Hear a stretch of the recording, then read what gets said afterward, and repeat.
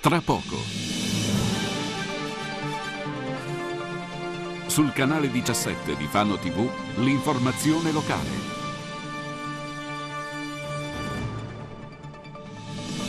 Bar tabacchi presi di mira dai ladri, rubati pacchetti di sigarette in via Sandro Pertini e slot machine al circolo Arci di Tombaccia. Scoperto l'uomo che aveva tagliato le gomme a sei auto nel parcheggio del Palazzo di Vetro a Fano, denunciato dalla polizia. La Fondazione Carifano presenta il bilancio di previsione, erogazioni invariate per tutti i settori ma nessuna nuova opera nel 2016 effettuata l'autopsia sulla donna affanese morta dopo il ricovero al torrente di Ancona martedì scorso. Sabato prossimo i funerali.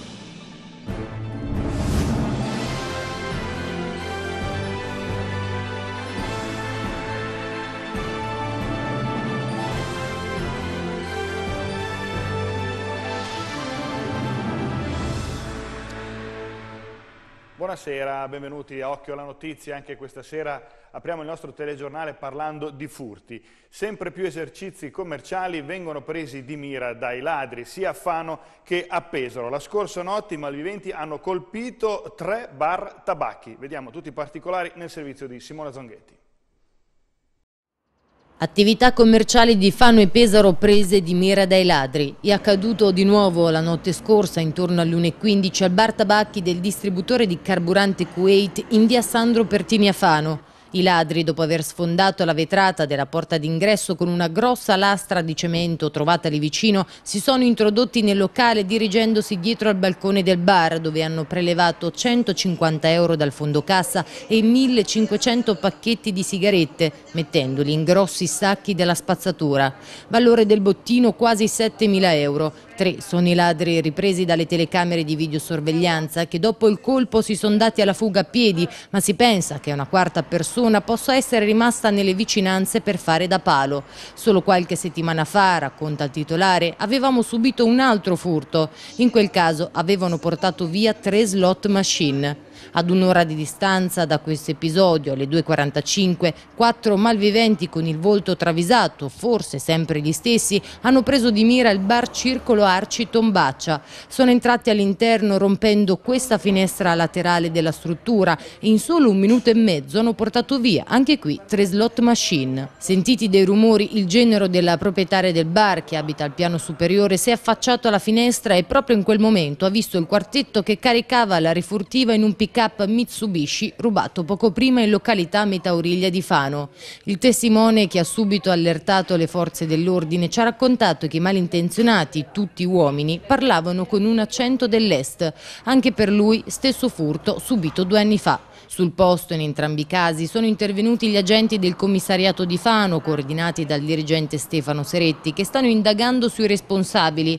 Ma la città della fortuna non è l'unica ad essere presa di mira. La vicina Pesore infatti non è da meno. Proprio ieri il titolare del bar tabacchi Mivida aveva sparato due colpi di fucile per spaventare i malviventi. Aveva preso una carabina da cinghiale e mirato alle gomme di un furgone. Non aveva colpito nessuno ma è finito ugualmente nei guai. L'uomo è stato denunciato per esplosione di colpi in luogo pubblico. La scorsa notte invece, intorno alle 2.50, i ladri, almeno in tre, hanno fatto visita al distributore di carburante Tamoil in strada della grottaccia Santa Maria dell'Arzilla, dove hanno rubato poche decine di euro in contanti e batterie per automobili. Dopodiché si sono introdotti nel bar tabacchi annesso al distributore. Qui hanno asportato due slot machine, una macchinetta cambia monete, sigarette, gratte e vinci e bottiglie di vino, un danno economico che ammonta a circa 10.000 euro, indagano i carabinieri di Pesaro. La polizia di Fano ha scoperto e denunciato la persona che aveva tagliato sei gomme di auto nel parcheggio del Palazzo di Vetro. Si tratta di un fanese 68enne che già anni fa fu denunciato per lo stesso reato. Lo vedete in queste foto mentre si dirigeva verso le auto prescelte. Con forbici in mano voleva attuare una vera e propria vendetta nei confronti degli automobilisti che, secondo il suo modo di vedere, non avrebbero avuto diritto a parcheggiare in queste aree di sosta. Così aveva ben pensato di dare una lezione a tutti, tagliando sei pneumatici ad altrettante vetture. Un'idea scattata dopo un litigio intercorso con un conducente che, pur abitando in un'altra zona, aveva deciso di lasciare in quel luogo il proprio mezzo. A rimetterci però sono state più persone che hanno avuto la brutta sorpresa di ritrovarsi le gomme a terra. Tra questi non solo i residenti delle abitazioni vicine, ma anche i medici dell'Asur che hanno sporto denuncia. I fatti risalgono al 19 ottobre scorso nel parcheggio interno al condominio Aurora, vicino al Palazzo di Vetro a Fano, dove l'area in questione è munita di telecamere di videosorveglianza. Quindi, grazie alle immagini esaminate e alle testimonianze acquisite, gli agenti del commissariato di Fano hanno potuto risalire risalire all'autore del gesto e denunciarlo per il reato di danneggiamento aggravato. Si tratta di un fanese di 68 anni, già noto alle forze dell'ordine, che dopo l'episodio aveva sporto anche denuncia, raccontando di essere stato vittima del gesto, tant'è che aveva due gomme bucate. Una versione data probabilmente per non far ricadere sospetti su di lui, ma non convincente per gli agenti. L'uomo ha confessato tutto e ha pure ammesso di essere dispiaciuto per aver creato danni anche a qualche suo vicino di casa. Il 68enne inoltre era pure recidivo. Questo vizietto infatti gli era costato già anni fa un'altra denuncia.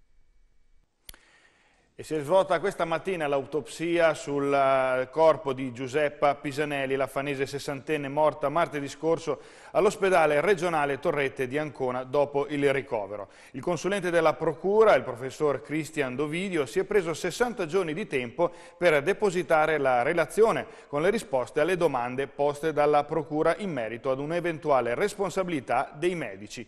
I funerali si svolgeranno sabato 31 alle ore 9.30 nella chiesa San Santa Famiglia a Fano 2. E la polizia ha arrestato per detenzione e ai fini di spaccio di sostanze stupefacenti un cinquantenne albanese residente in città, disoccupato e già noto alla giustizia. Gli investigatori, insospettiti da un anomalo andirivieni di persone nell'appartamento dell'uomo, l'hanno bloccato dopo un breve pedinamento mentre usciva di casa e hanno perquisito l'abitazione. Gli agenti hanno rinvenuto tre involucri contenente in totale circa 18 grammi di cocaina, materiale per il confezionamento delle dosi e 800 euro, somma ritenuta provento dello spaccio. Il cinquantenne, finito in manette, si trova ora nel calce di Villa Fastigi a disposizione dell'autorità giudiziaria. Fondazione Carifano. Le erogazioni nel 2016 della Fondazione rimarranno le stesse dell'anno in corso, ma non ci saranno nuove opere. Questa mattina ha presentato il bilancio di previsione il Presidente Fabio Tombari. È stato presentato dai vertici della Fondazione Carifano con il presidente Fabio Tombari il documento programmatico previsionale 2016 che è stato approvato dal Consiglio generale il 19 ottobre scorso. L'impegno era quello di mantenere gli stessi importi per tutti i settori e così è stato. Nel prossimo anno verrà erogata la somma di 1 milione e 105 mila euro. Queste erogazioni verranno mantenute integralmente ma non realizzeremo nessuna delle opere che abbiamo fatto in passato e questo a causa della diminuzione notevole dei rendimenti finanziari e dall'aumento delle imposizioni fiscali. Proseguirà il sostegno a Fano Ateneo e il finanziamento delle borse di studio, così come il supporto alle categorie più deboli e a quelle di assistenza ai malati messe in atto dalle associazioni del territorio. Al welfare inoltre andranno le erogazioni maggiori che comprenderanno le attività in favore dei portatori di handicap, di aiuto all'infanzia e ai minori. Altre risorse verranno destinate al parco naturale naturalistico Lago Vicini, ma anche alla trasformazione in casa di riposo di alcuni appartamenti situati all'interno della residenza per anziani Don Paolo Tonucci. Verrà realizzato un centro residenziale assistito per non autosufficienti, una casa di riposo e una casa albergo per meglio rispondere alle richieste della collettività.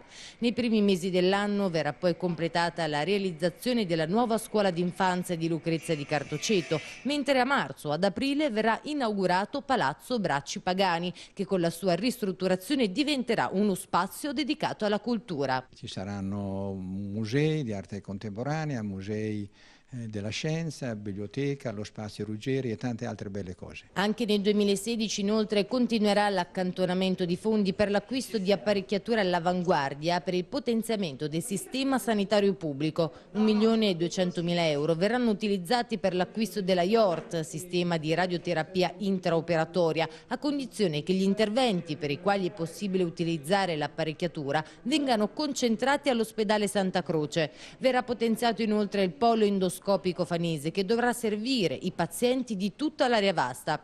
Il presidente Tombari questa mattina ha ammesso di non aver ancora sentito Maria Capalbo, neodirettrice dell'azienda Marche Nord, che durante la conferenza stampa di presentazione del nuovo incarico aveva dichiarato di sperare in un possibile intervento da parte della Fondazione Carifano anche su Muraglia. In realtà, come ha spiegato lo stesso Tombari, per legge le loro donazioni sanitarie possono essere effettuate solo nel territorio di competenza. Io non ho incontrato ancora il nuovo direttore de, di ospedale di Marche Nord, le nostre donazioni per statuto devono essere date attualmente all'ospedale Santa Croce. Le cose però potrebbero cambiare nel caso in cui Muraglia diventasse la sede dell'ospedale unico, visto che a quel punto la sanità fanese si sposterebbe nel comune di Pesaro.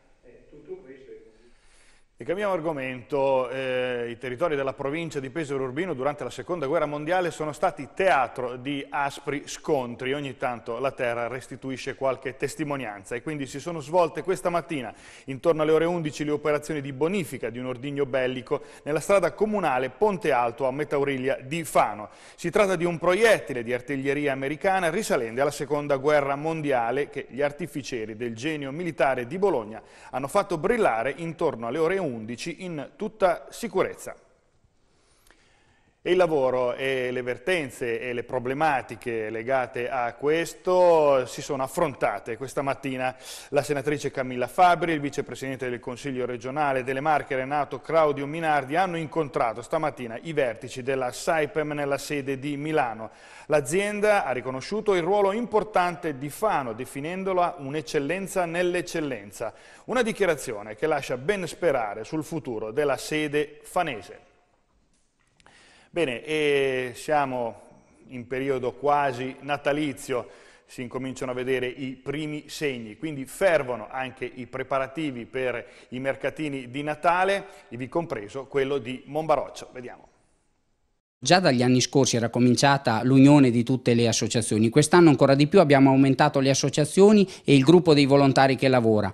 Eh, le parrocchie tutti insieme ci siamo messi in, di buona volontà da mesi a lavorare per il Natale 2015. Quindi ci saranno tante novità che presenterete in una conferenza stampa? Sì, faremo due conferenze stampa, una a Pesaro e una a Urbino, eh, dove presenteremo tantissime novità quest'anno che provengono sia da Bolzano ma anche dal nostro territorio e soprattutto anche tante novità all'interno del nostro paese, del nostro um, mercatino di Natale create dai nostri volontari. Ebbene, quindi buone eh, novità in previsione di questo mercatino così tanto amato. Anche quest'anno si è rinnovata la collaborazione tra il Liceo Scientifico Torelli e il Museo del Balì di Saltara. Per il settimo anno consecutivo gli studenti del Torelli beneficiano del supporto scientifico del Museo del Balì, potenziando sia lo studio della fisica a scuola che l'attività in laboratorio. L'accordo è stato sottoscritto dal dirigente scolastico Samuele Giombi e dal presidente della Fondazione Museo Alighiero Omiccioli. La collaborazione prevede l'allestimento e la realizzazione con personale e strumenti di diverse esperienze che andranno ad integrare quelle svolte dai docenti scolastici. Il museo porta porta qui da noi attrezzatura e animatori ed esegue esperienze con eh, le, nostre, le nostre classi. Quante lezioni di questo tipo sono in programma e a quali classi sono rivolte? Dunque sono rivolte a tutte le classi del nostro liceo e sono in programma due esperienze per ogni classe nel corso del primo e del secondo periodo scolastico. Noi abbiamo l'anno scolastico diviso in trimestre e pentamestre, quindi è un'attività che parte proprio in questi giorni e si protrarrà fino al mese di febbraio. La fisica è una disciplina fondamentale per lo sviluppo delle scienze, della tecnologia e dell'intera società e con questa iniziativa il Liceo Torelli ne ribadisce tutta la sua importanza permettendo ai propri allievi di migliorare e consolidare le loro conoscenze. Il vostro museo sempre di più si mette a disposizione degli studenti. Sì, assolutamente, il nostro museo che sia internamente, in questo caso esternamente, attraverso il regime di convenzione, si mette in piena collaborazione proposte nei confronti del mondo scolastico e anche quest'anno appunto siamo qua per il set, sesto, settimo anno a rinnovare questa convenzione con il Torelli. Questo è stato il primo liceo della provincia che ha aderito subito alla nostra proposta, quindi noi ne siamo assolutamente fieri e grati e comunque dire la proposta è buona perché poi negli anni se si rinnova e si mantiene vuol dire che comunque tutto quello che in qualche modo di didattica viene proposto viene scelto appunto dai, dai professori. La cosa che ci inorgoglisce particolarmente è che comunque sia in ambito provinciale ma anche extraprovinciale, quest'anno anche extraregionale andremo appunto a proporre queste convenzioni. L'anno scorso addirittura siamo arrivati ad un liceo di Bologna, quest'anno c'è il liceo di Ravenna che ci ha proposto appunto questa collaborazione attraverso il regime delle convenzioni, per cui io sono estremamente orgoglioso di tutto quello che si fa e che proponiamo poi all'esterno. Abbiamo sicuramente una bella esperienza il Museo del Balì ed ora vediamo una di cronaca, un incidente stradale si è verificato nel pomeriggio di oggi, giovedì 29 ottobre, verso le ore 16.30 lungo la strada comunale del campo di aviazione di Fano, di fronte al distributore di carburante Erg. Due auto, una Fiat e una Mini si sono scontrate, quest'ultima è uscita di strada, illesi i conducenti a bordo, sul posto la polizia stradale e la municipale. Parliamo di teatro e della stagione di prosa, al Teatro della Fortuna prosegue la nuova stagione con Sarto per Signora, lo spettacolo con Emilio Solfrizzi e Anita Bartolucci che andrà in scena per tre serate dal 31 ottobre al 1 di novembre prossimi. Sabato inoltre nel foyer del teatro la compagnia incontrerà il pubblico alle ore 18. Per avere ulteriori informazioni è possibile contattare il botteghino oppure visitare il nostro sito occhioallanotizia.it. Ed ora in chiusura vediamo una notizia di sport, sport non giocato però perché domenica prossima l'Alma Juventus Fano eh, gioca fuori casa contro il San Nicolò a Teramo, ma non potrà contare sul supporto dei propri tifosi. Il prefetto di Teramo ha vietato la trasferta ai sostenitori del Fano, come era già accaduto a Iesi. La decisione adottata punisce gli sportivi, anche famiglie e genitori con figli, ai quali viene negato per la seconda volta consecutiva il piacere di poter assistere alle gesta sportive della loro squadra. Con queste parole l'amministrazione comunale di Fano esprime tutto il suo rammarico per la decisione del prefetto. Rammarico espresso anche dalla società Alma Juventus Fano che giudica incomprensibile la decisione assunta dalla prefettura di Teramo. In questo modo si va a minare l'entusiasmo che si era creato intorno alla società, impedendo a tanti appassionati di seguire da vicino la propria squadra. Queste le parole della società sportiva fanese. Bene, con quest'ultima notizia eh, termina l'informazione per questa sera. Occhio alla notizia tornerà naturalmente domani sera, se vorrete, puntualmente qui alle 20.30 noi ci saremo. Per intanto grazie per la vostra attenzione e buona serata a tutti voi.